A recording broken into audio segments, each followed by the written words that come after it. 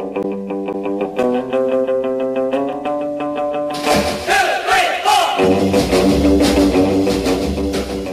man, what you doing man? I'm Mark Fairley. I'm the owner of the Old School Barbecue Bus in Failsworth. I always wanted to cook. I love barbecue food. I just had enough of working for somebody else and earning them a lot of money. So why not change a hobby into a career? It's always scary doing something like that. I was working in a fabrication company and it was just working shifts and long hours, trying to improve the businesses. Why couldn't I not just do that for myself? When I first saw the bus down south, Leatherhead in Surrey, I'm like, right, I'm having that. Show my wife and she went, that's, that's you. And then, like I say, rest is history. So, I own it. Never driven anything like that before. On my own, Uh, 200 or 300 miles for nine hours, going 45 mile an hour. So that was a bit of a scary journey back up. I've always wanted to be a chef. I'll do barbecues in the rain. Oh, that's just a passion I have. If it's snowing, take a brolly.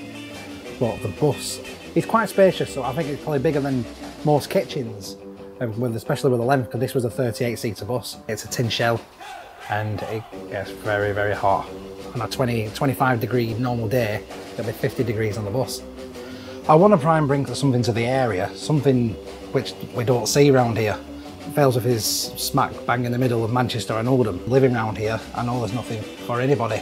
The area's kind of bland. People think it's exciting because they've never seen one before, apart from only being in the movies. It's like, oh, it reminds me of Freddy Krueger.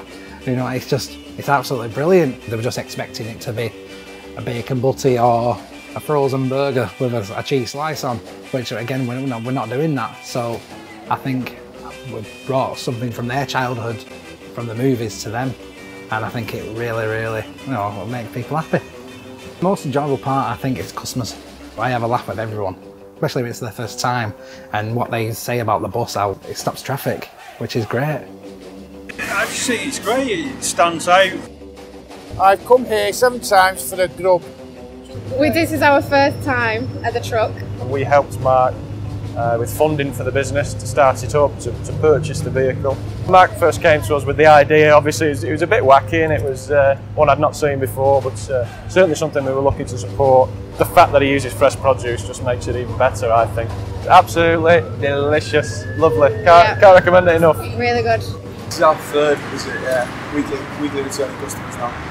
I have to work every other day because if I'm putting pulled pork on, where I'm smoking over oak and applewood, doing low and slow uh, cooking, it takes all night. So where I do that, where it doesn't finish till four o'clock in the morning, so I'll get them on, I'm up all night. So then I'll go to the suppliers in the morning, get all my fresh ingredients, and then everything's ready for the for that day along. But it's always better to get it all fresh in the morning. The bread we use on here, again, that's they're all made for me from a local baker, and everybody just loves loves that type of bread. It's something different. American food in Manchester now is getting really popular, but I just needed to think of something for myself, and I made the Eccles cake burger, the Eccles burger. I just it just popped in my head. I was like, I'm going to try it, and it it worked strangely. So get one Eccles cake they're not the same size as selling in the shop, they're a hell of a lot bigger. With a 7 ounce chuck steak burger, with a big slab of Monterey Jack cheese on, maple bacon, smothered in maple syrup, and then with another Eccles cake on top. And yeah, it's around 1200 calories, but if you, you know, even if you just try it, why not? I'm a foodie, and I have I can pimp a pot noodle if I need to, but you've got to try these things just to, to see how it goes. My wife has been absolutely fantastic. She cheers me up when I'm down. And I've got my little boy as well who loves the bus. I want to be able to try and franchise this out. I want to be able to see a year down the road with this and comes a household name and where I can start selling my own sauces and merchandise. Uh, I think it'd be, like I said, that's where I see myself in, in five years time. I always wanted to do something like this.